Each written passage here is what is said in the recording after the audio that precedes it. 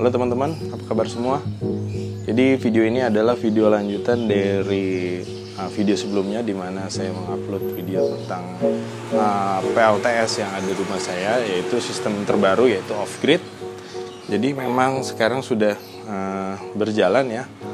Uh, walaupun memang belum maksimal gitu. Kenapa belum maksimal? Karena nanti mungkin saya akan jelaskan kenapa belum maksimal. Jadi paling tidak sistem sini sudah berjalan, sudah bisa melakukan penghematan listrik, ya sudah bisa menyuplai uh, energi untuk kebutuhan rumah sehari-hari. Yuk, bagaimana videonya? Pokoknya simak terus.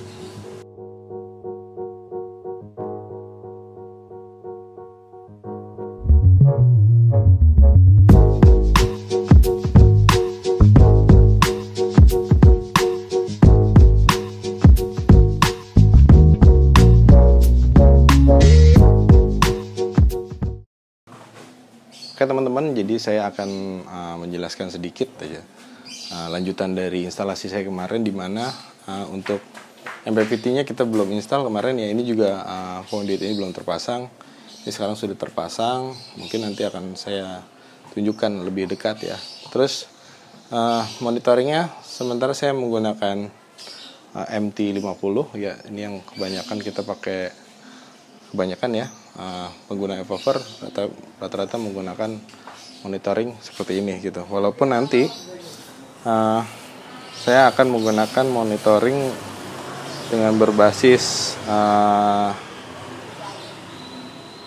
menggunakan cloud ya atau wifi adapter seperti ini. Itu mungkin akan saya jelaskan nanti uh, secara settingnya, cara konfigurasinya seperti apa di video uh, berikutnya gitu ya. Jadi MPPT ini udah saya uh, sudah saya sambung, uh, sudah saya connect. Begitupun uh, inverternya ya, ini jalur-jalurnya sudah saya siapkan. Ini juga untuk uh, DC breakernya, saya menggunakan kapasitas 125 ampere. Gitu. Jadi kalau untuk ini kebetulan uh, DC connecting PV-nya masih menggunakan yang lama. Ini untuk satu string ya. Dan ini arresternya juga masih ditaruh di sini ya belum di sebenarnya belum diinstal baru dipasang aja. Masih menunggu box uh, PV combinernya yang terbaru supaya dua string yang terinstal di atap rumah saya yang masing-masing 1000 WP satu lagi 1050 bisa dikoneksikan secara paralel sehingga bisa mencukupi kebutuhan energi yang ada di rumah saya. Oke mungkin lebih jelasnya saya akan uh, tunjukkan kepada kalian sedikit uh, bagaimana uh, PLTS ini sudah bisa berjalan walaupun belum maksimal ya. Oke teman-teman ini mulai dari PV combinernya. Saya masih bukan PV combinernya ya DC connecting dari PV-nya ini masih seperti ini. Nanti masih belum disambung lagi satu string nunggu boxnya karena walaupun ini bisa tapi ini nggak bisa diaktifin ya apa untuk arresternya cara ini untuk uh, apa namanya uh, device monitoringnya menggunakan MT50 nah sekarang di charging di ampernya di 12 ampere ya. Dari PV nya 6 ampere. Nah arus yang sedang berjalan untuk mencharging baterai Nah ini baterainya ada dua bank masing-masing 80 ampere hour ya. Nah ini DC connectingnya saya menggunakan sementara ini ya uh, yang 125 ampere ini sebenarnya kemarin buat nyalain ini aja nih apa namanya uh, resistor gitu ya supaya tidak terjadi lonjakan. Jadi yang bagus untuk DC connecting untuk baterai itu bagusnya bertipe MCCB ya mungkin akan saya bahas selanjutnya nanti. Jenisnya MCVB itu lebih bagus ketimbang yang seperti ini karena dia lebih sensitif lebih proper juga untuk arus-arus besar. Ya ini untuk uh, eh, SCC nya menggunakan tipe MPPT ini 80 ampere. Seperti saya sudah jelaskan ya kok ada siluet begini ya. Nah tegangannya 49 volt. Ya seperti seperti sama di sini. Ya 12 ampere sekarang. Uh, lalu ini saya masih menggunakan apa namanya uh, PLN gitu. Karena kalau saya buat video ini kipasnya berisik banget jadi saya matiin dulu. Mungkin ini ada penambahan di sini untuk ini mengaktifkan uh, inverter. On inverter ini untuk saklar manual antara PLN sama PLTS PLTS ke arah sana gitu. Jadi memang saya nggak mau terlalu banyak switch ya di sini ya.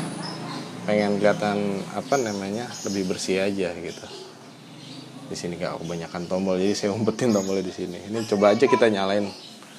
Uh, untuk teman-teman bisa tahu ya. Ini kita onin aja di sini. Nah bunyi kan bunyi kontaktornya. Nah kipas auto running. Running. Pasti tegangan juga akan turun kan nih di 40 berapa sekarang? Begitu ada beban. 48,5 ya. Baterai sekitar mungkin 40% gitu ya kira-kira seperti itu teman-teman jadi mungkin kemarin ada yang nanya nih baterainya baterai Narada 80 ampere hour 2 bank. Terus ini lagi saya koneksi koneksi juga ke ke PC ya. Ini lagi aduh lagi monitoring juga nih saya nih. Ya bagaimana ini balancing terjadi setiap detiknya. Ya di sini ada keterangan uh, mana nih? Jadi yang ungu ini tegangan terendah, yang eh ya yang ungu tegangan terendah, yang merah tegangan tertinggi.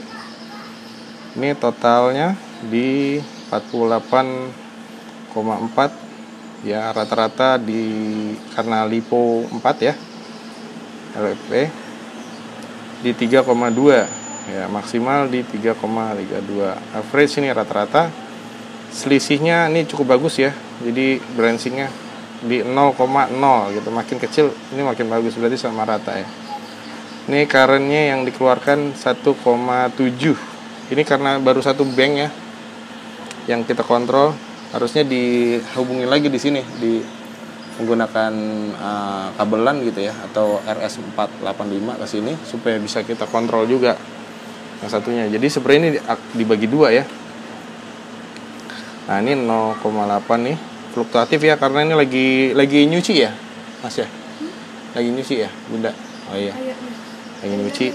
Enggak. Yang benar. Nah, ini fluktuatif tergantung beban yang ada di dalam rumah gitu dan modenya sekarang sedang charging nah ini temperaturnya nah ini bisa kalau nggak kalau di proses charging apa di, di charging apa nih discharge ya?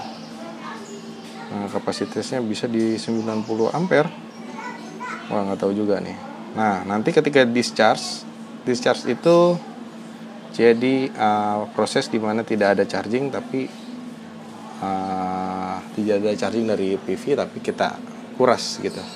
Pengurasan uh, baterai begitu ya oke teman-teman kira-kira kayak gitu. Oke teman-teman uh, untuk kali ini sampai sini dulu videonya. Bagi kalian yang suka dengan video ini bisa di like video ini. Dan kalau yang mau tanya seputar PLTS yang berjalan sekarang di rumah saya yaitu PLTS off grid silahkan ditanyakan di kolom komentar. Subscribe bagi kalian yang belum subscribe. Dan jangan lupa tetap semangat tetap kreatif. Sampai jumpa di video selanjutnya